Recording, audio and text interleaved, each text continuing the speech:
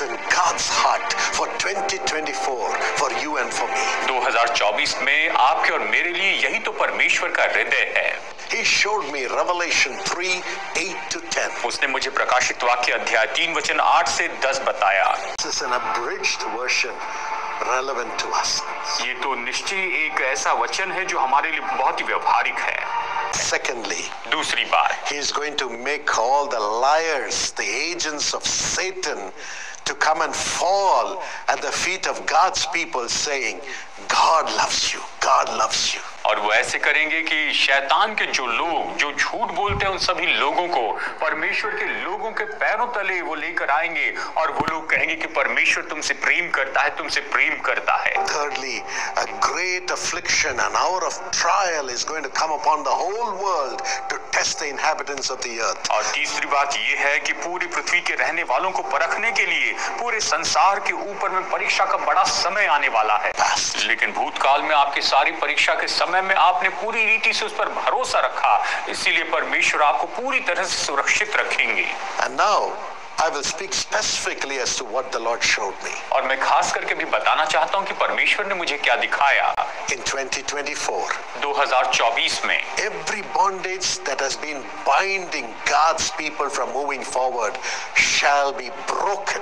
हर एक बंधन जो परमेश्वर के लोगों को आगे बढ़ने से रोकता था वो तोड़ दिया जाएगा Of course, an open door will be given. हमें अवश्य ही खुला द्वार दिया जाएगा The Lord told me, तीसरी बात प्रभु ने मुझसे कहा Never again shall my people suffer bondage and affliction. कि मेरे लोग फिर से कभी बंधन और क्लेश को नहीं सहेंगे As long as they go and deliver the other people from their bondages, I will never allow my people to suffer bondage and affliction by themselves. और जब तक कि मेरे लोग जाकर दूसरे लोगों को बंधन में से छुड़ाएँगे मैं कभी अपने लोगों को बंधन में आने नहीं दूँगा The reward for your faithful labor in the midst of all the persecution and affliction, my dear friend, coming in 2024. मेरे प्यारे दोस्तों सारे क्लेश में आपने जो विश्वास योग्य रीति से वहाँ पर मेहनत की है उसका प्रतिफल 2024 में आ रहा है With the prophetic anointing, your children will rise up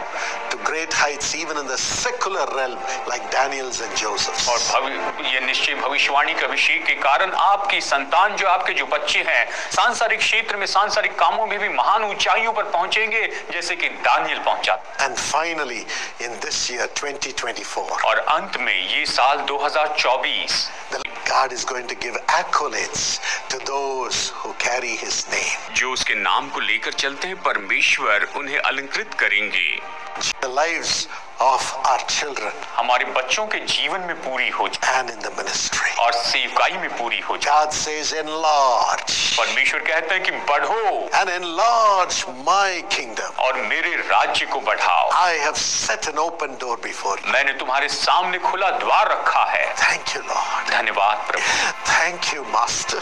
धन्यवाद स्वामी Thank you for speaking to us. प्रभु धन्यवाद कि आपने हमसे बातें की है We pray that this word that you have spoken, which I have delivered, would be watched over and performed by the mighty power of the Holy Spirit. हम प्रार्थना करते हैं प्रभु कि ये वचन जो अभी बताया गया है ये तो निश्चय से देखा जाएगा पवित्र आत्मा की सामर्थ के द्वारा ये पूरा किया जाएगा Into the realm of power. और ये तो सामर्थ के क्षेत्र में चले जाए Let it go to destroy the works of the devil. और ये शैतान के कामों को नाश करने के लिए चले जाए Let it go to bring peace and serenity in the hearts, minds, and lives of your people. आपके लोगों के मन में ये देखभाल और शांति लाने के लिए चली जाए।